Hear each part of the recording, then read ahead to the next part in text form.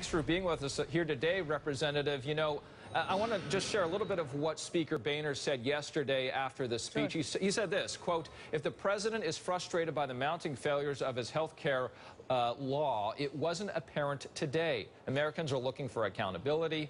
But what the president offered today was little more than self-congratulation. Instead of answers, we got well-worn talking points. Instead of explanations, we got excuses. Either the president doesn't grasp the scale of the law's failures or he doesn't believe Americans deserve straight answers. Uh, what's your response to that? Well, I mean, I think what it's very important that we figure out what is wrong with the system and get it up and running. But just like you had the governor on, you know, a few minutes ago, states that are supportive of the law, that are doing everything they can to make sure that they provide insurance for their population, things are going okay. The rollout in California has been okay. There's been a couple of glitches. But, you know, as the president pointed out, there's a lot of other aspects to the law for people who are already insured that are extremely important, such as people being allowed to continue coverage if they have pre-existing conditions. So what is broken needs to be fixed right away, but it certainly isn't reason to say we need to scrap the whole Affordable Care Act. Why do you think here, Representative, the administration isn't giving us the numbers such as uh, how many people signed up? I mean, President Obama yesterday really didn't explain what the problems were specifically. Well, again, I'm not sure what the problems are. I'm not sure how technical they are.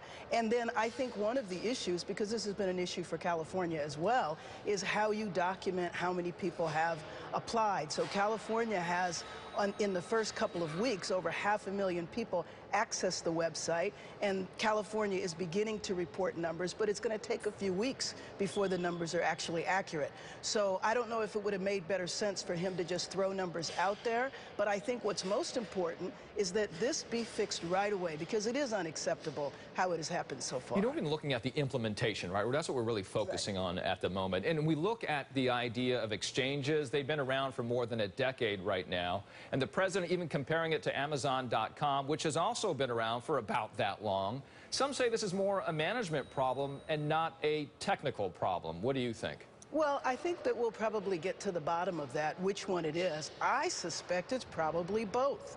But having said that, again, I don't think that's an excuse to call for Secretary Sebelius' head. And so what we're going to have on the Hill in the next couple of weeks is a whole series of hearings wanting to uh, essentially have her fired. But I think it's mighty ironic for my Republican colleagues who shut down the government because they didn't want to see health care go forward, now complaining that it's not working well. They need to make up their minds. Uh, I do think that the health care reform law needs to be supported, and we need to do everything we can to make sure that it works. Well, Representative, and not just use it as an excuse. If not Kathleen Sebelius, then should some contractors be released? This is a $400 million project. This is not a small amount of money. Absolutely. And you know what? I definitely think contractors need to be looked at. But I have to tell you, I think contractors need to be looked at in a lot of different areas of our government, as we've seen, even on the intelligence side. So I think that that contract needs to be examined. Again, we need to get to the root of the problem. But the goal should be fixing it so that people can sign up, not using the problems as an excuse to essentially attack the administration or attack the secretary. Congresswoman Karen Bass, thank you so much for your time today. Jonathan